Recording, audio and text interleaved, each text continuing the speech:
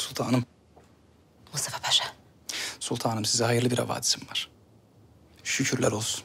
Hünkârımız yaşıyor, sıhhatleri gayet iyi. Kendilerinin Avlonya'ya varmak üzere olduğu haberini aldım az evvel. Allah'ım sana şükürler olsun. Şehzadelerim, onlar nasıl? Şehzadelerimiz de iyiler sultanım. Bu hayırlı havadisi Şehzade Mustafa'nın da öğrenmesini sağlayacağım. Zannediyorum bu kendilerini durdurmaya yetecektir. Şehzade Mustafa kalkıştığı bu ihanetin bedelini ödeyecek paşa. Derhal vaziyeti hünkârımıza bildirin. Evladının tahta yürüdüğünü bilmeli. Emredersiniz sultanım. Validem, merak ettim. Babamdan bir haber var mı? Yaşıyor Mihrimah. Baban da kardeşlerinde yaşıyor. Saatleri de yerindeymiş. Kabus bitti Mihrimah. Bize kabir azabını çektirenler düşünsün şimdi. Bu ihanet yanlarına kalmayacak. O halde artık Beyazıt ve Cihangir'in saklanmasına lüzum yok değil mi? Ne olur ne olmaz. Bir iki gün sabredelim. Şehzade Mustafa belki durmayacak bilmiyoruz.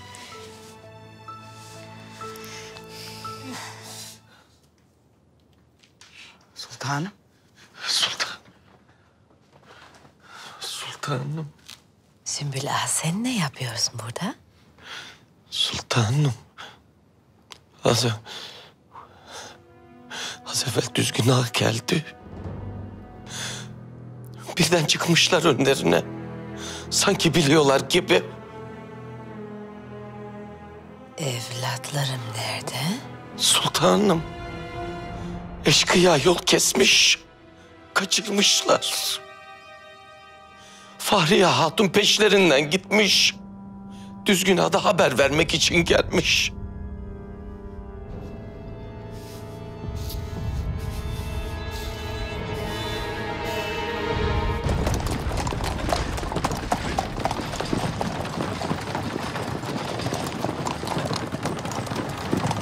Nasıl koruyamazsınız şehzadelerimi?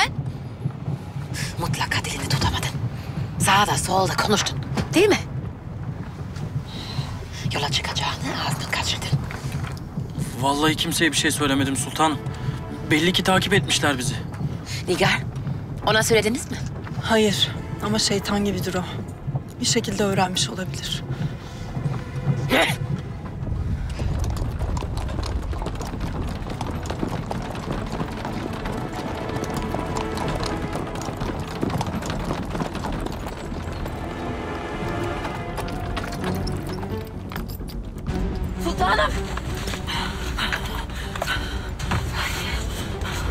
Ne oldu söyle bir iz bulabildin mi? Ormanın içine kadar takip ettim onları sultanım. Beni görmediler.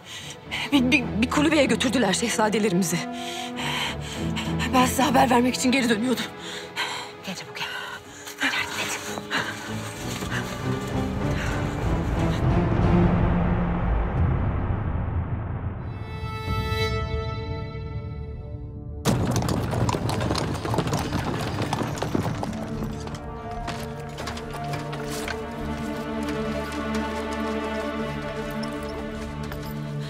Geldiler sultanım.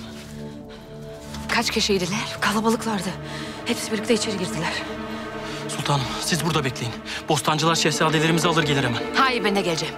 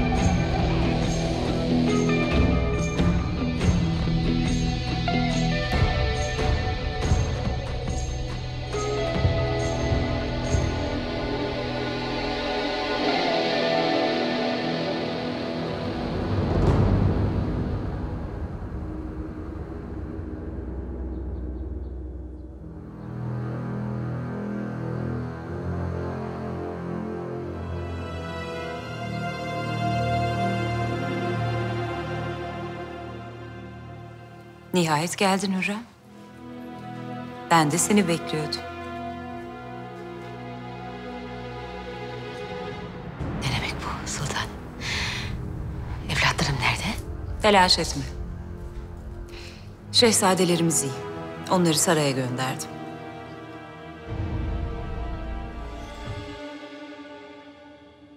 Neler oluyor sultanım? Dışarı çıkın. Bizi Hürrem'le yalnız bırakın. Çıkın.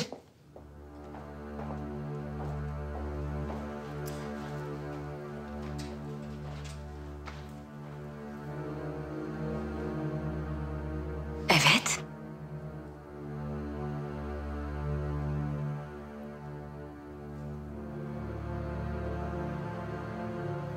Hala anlamadın mı Hürrem? Hepsi bir oyundu. Hünkârımız şükürler olsun ki sağ. Zaten hiç yaralanmadı. Mehmet ve Selim de öyle.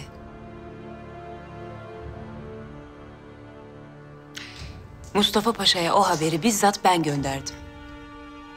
İlaveten Şehzadem Mustafa Manisa'dan hiç ayrılmadı. Olup bitenden haberi bile yok. Size haber getiren ağa benim ağalarımdan biridir.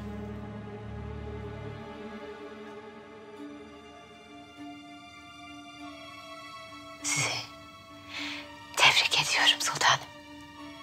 Bu kadar şeytanın aklına bile gelmezdi. Bütün bunların manası ne diye sormuştum bana. Öyleyse dinle Hürrem. Zevcim Lütfü Paşa divana girdiğinde beni tebrik etmek için geldi. Fakat İbrahim Paşa'nın akıbetini hatırlatıp tehdit ettin. Doğru mu? Ne anladıysanız o. Ben de sana bizi başkalarıyla karıştırma. Ne Lütfü Paşa İbrahim'e ne ben Hatice'ye benzerim dedim. Fakat senin bir kulağından girdi diğerinden çıktı. Ben de bir kez daha hatırlatmak istedim. Zannediyorum şimdi anlamışsındır. Gördün mü bak? İnsanın kaderi bir anda değişebiliyor. Asıl sebebi söyleyin bana sultanım. Maksadınız ne? Yoksa İbrahim Paşa'nın intikamını almak size mi düştü? İbrahim Paşa çok büyük bir devlet adamıydı Hürrem. İyi bir askerdi. Ama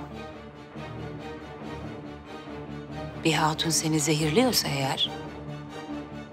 ...padişah da olsan kâr etmiyor öyle değil mi? Herkes hak ettiğini yaşar. Doğru söze ne denir? Bu hadise benden çok sana ibret olmalı Hürrem. Zira İbrahim Paşa da senin gibi bir kuldu. Haddini bilmez, kendini vazgeçilmez zannedersen... ...bir anda yerle yeksan olursun. Sultanım, ben size inanmıştım. Çünkü ilk defa bir hanedan mensubunu bana iyi davranması, beni anlamaya çalışması hoşuma gitmişti. Oysa siz en başından beri düşmanmışsınız hiç tanımadan, bilmeden. Tıpkı diğerleri gibi. Hatice Sultan'a benzemediğinizi söylediniz. Evet doğru. Haklısınız. Ama size yemin ediyorum. Akıbetiniz benzeyecek.